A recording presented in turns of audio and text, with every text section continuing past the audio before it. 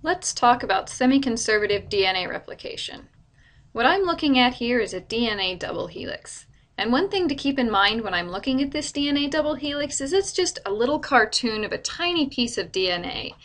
In an actual cell, a chromosome's DNA can contain millions of base pairs. So if I were to draw out this whole thing, it would have to wrap around this room many, many, many times. But looking at a small piece makes the cartoon easier. So I'm looking at a DNA double helix before replication. So I'm looking at the old DNA before it's replicated. And semi-conservative DNA replication tells us that this strand here is going to be a template for building its complementary strand, and this strand here is going to be a template for building its complementary strand. So because of complementary base pairing, this can be used to build its partner, its complementary strand. And also this strand here can be used as a template to build its partner, its complementary strand. Giving me two daughter DNA double helices, where here in pink I've showed the new DNA.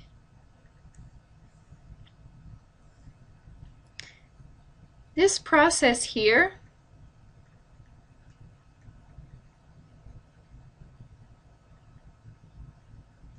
is DNA replication. And we have another cartoon for looking at this when we're studying the details of how the cell does this, where we're looking at a DNA double helix that's been opened up to form a replication bubble so that the cell can replicate its DNA. So I've looked here shortly after it started. So it opened here at the origin of replication, and enzymes have built the new DNA, or have started to build the new DNA, really.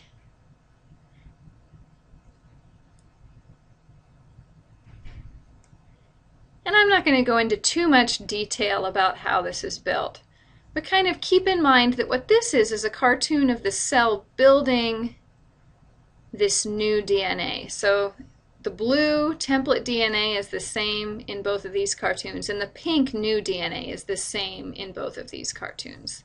So that when the cell is done, they'll have down here one new DNA strand, excuse me, one DNA double helix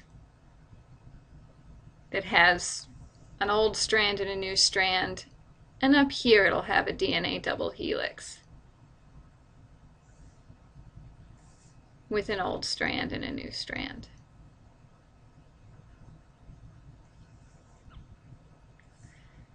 And these are the same strands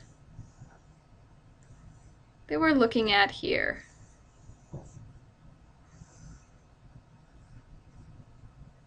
Another way of thinking about these is when the cell is preparing for mitosis or meiosis, how these are going to condense into a condensed replicated chromosome.